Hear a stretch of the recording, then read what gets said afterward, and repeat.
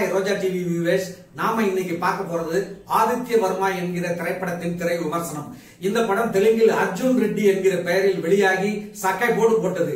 அதை தமிழில் எடுத்து தனது மகனை இன்ட்ரோடியூஸ் பண்ண வேண்டும் ஹீரோவாக அறிமுகப்படுத்த வேண்டும் என்பதற்காக நடிகர் விக்ரம் தயாரிக்க துவங்கி தன்னுடைய குருநாதர் சேது படத்தின் இயக்குனர் பாலாவை இயக்குனராக போட்டு இந்த படத்தை முன்பு தயாரித்தார். இந்த முழு படமும் பாலா இயக்கி தயாரான நிலையில் படத்தை பார்த்த பொழுது படம் சரியில்லை என்பதால் அந்த முழு படத்தையும் தூக்கி குப்பையில் போட்டுவிட்டு மீண்டும் ஆதித்யவர்மா என்கிற இந்த இப்பொழுது இன்றைக்கு வெளியாகி இருக்கும் இந்த படத்தை விக்ரமும் அவருடைய தயாரிப்பாளர் இ போர் என்டர்டைன்மெண்ட் தயாரிப்பாளரும் இதை தயாரித்திருக்கிறார்கள்.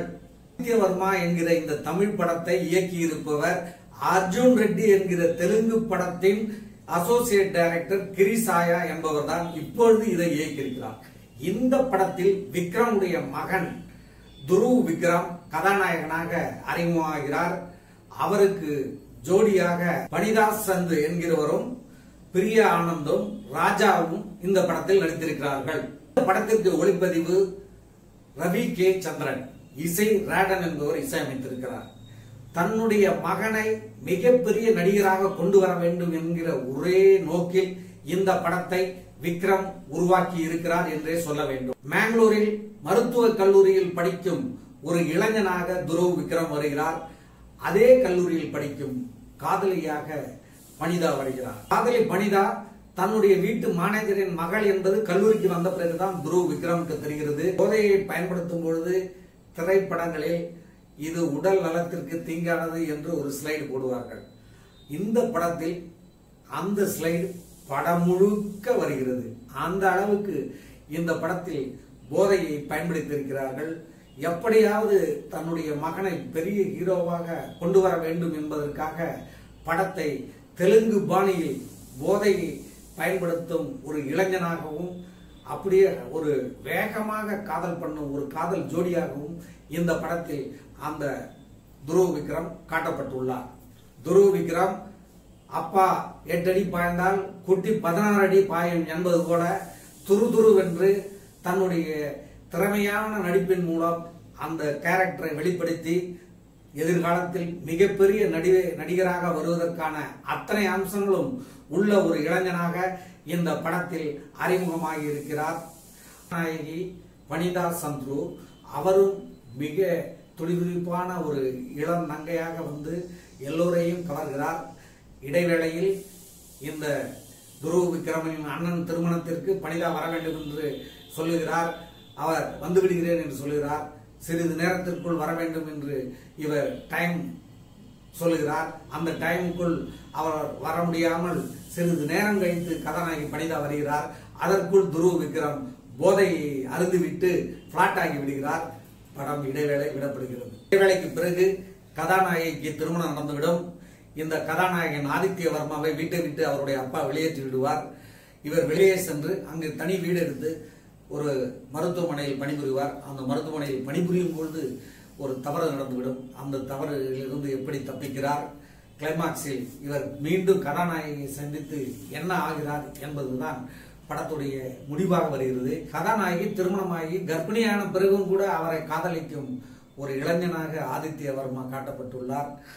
அதற்கு பிறகு கிளைமாக்ஸில் அவர்கள் எப்படி சேருகிறார்கள் என்பதை கிளைமாக்ஸில் கதாநாயகியை தன்னுடன் சேர்ந்து வாழும்படி ஆதித்ய வர்மா கெஞ்சுகிறார்.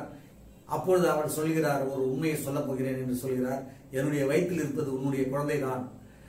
என்னுடைய கணவன் என்னை விட்டு போய்விட்டாலும் உன் குழந்தை நான் சுமக்கிறேன் என்கிற சந்தோஷத்தோடு வாழ்கிறேன் என்பது போன்று சொல்கிறார். அதன் பிறகு இருவரும் ஒன்று சேர்கிறார்கள். இது எப்படி இந்த குழந்தை இவருடைய வயிற்றில் வந்தது என்பதையும் காட்டுகிறார்கள். இதை இயக்குனர் படத்தில் நியாயப்படுத்துகிறார். இருப்பினும் இந்த படம் ஒரு இளைஞர்களை குறிவைத்து இளைஞர்களுக்காக போதைகளை தாராளமாக வாரி இறைத்து அதையும் போல் இம்மாரல் செக்ஸையும் லேசாக காட்டி இந்த படத்தை எடுத்திருக்கிறார்கள். இது வந்து சமூகத்திற்கு சிறந்த படமா கேடான படமா என்று நாம் பார்க்கும்பொழுது இது மாதிரி படங்கள் இளைஞர்களை கெடுக்கும் என்றே நாம் சொல்ல வேண்டும். இந்த படத்தில் படுக்கை அறை காட்சிகளும் வல்கரான காட்சிகளும் தாராளமாக இருக்கிறது. அதேபோல் மது அருந்துவது போதை அடிப்பதெல்லாம் சர்வசாதாரணமாக இந்த படத்தில் காட்டியிருக்கிறார்கள். முத்தமிடும் காட்சிகளும் படம் முழுக்க நிறைவு கிடைக்கிறது. இப்படியெல்லாம் ஒரு படம் எடுத்தால் எதிர்கால இளம் சந்ததியினர் என்ன ஆவார்கள்? அவர்கள் உருப்பிடுவார்களா? என்பதையெல்லாம் இயக்குனர்களும் தயாரிப்பாளர்களும் யோசித்து எடுக்க வேண்டும். ஏதோ ஒரு படம் எடுத்து சம்பாதித்து நாம் பெயர் வாங்க வேண்டும் என்பதற்காக எ- எப்படி வேண்டுமானாலும் வாந்தி எடுத்து படம் எடுக்கலாம் என்பதற்கு இந்த படம் ஒரு உதாரணம். படத்தில் பிரியானந்த் நடிகையாக வருகிறார். அவருடைய கால் முட்டிய எலும்புகள் முறிந்துவிடும். அதை சரிப்படுத்துவதற்காக டாக்டரிடம் செல்கிறார். அந்த டாக்டர் துருவ விக்ராம் அந்த வைத்தியம் முடிந்த பிறகு படப்பிடிப்புக்கு பிரியானந்த் செல்கிறார் படப்பிடிப்பில் இருக்கும்போது பிரியானந்தை சென்று துருவ விக்ரம் சந்திக்கிறார். அப்பொழுது நான் காதல் தோல்வியில் இருக்கேன் எனக்கு பிசிக்கலாக நீங்கள் ஹெல்ப் பண்ண வேண்டும் என்று திரு பிரியானந்திடம் கேட்கிறார். அதுக்கு அவரும் ஒத்துக்கொண்டு துருவ விக்ரமுக்கு பிசிக்கலாக ஒத்துழைப்பு கொடுக்கிறார் பிரியானந்த் அது வந்து எந்த அளவுக்கு ஆபாசமோ அந்த அளவுக்கு ஆபாசத்தின் உச்சமாக அந்த காட்சி இருக்கிறது. இதே போல் பல காட்சிகள் ஆபாசத்தின் உச்சம். இளைஞர்களை கவர வேண்டும் என்பதற்காக இப்படியெல்லாம் ஒரு ட்ரிபிளக்ஸ் படம் மாதிரி எடுத்திருக்கிறார்கள். இந்த படத்தினுடைய ஒளிப்பதிவாளர் ரவி கே சந்திரனை பாராட்ட வேண்டும். மிக அருமையாக ஒளிப்பதிவு செய்கிறார் அதே போல் ராத்தன் இசையமைப்பாளர் அவரும் அருமையாக இசையமைத்திருக்கிறார். இது போல பல சுவாரஸ்ய தகவல்களுக்கு ரோஜா தமிழ் டிவியை சப்ஸ்கிரைப் பண்ணுங்க. பக்கத்துல இருக்கிற பெல் பட்டனை அழுத்தி நியூ அப்டேட்ஸையும் தெரிந்து கொள்ளுங்க. இது இந்த படத்திற்கு பெரிய பிளஸ் என்று சொல்லலாம்.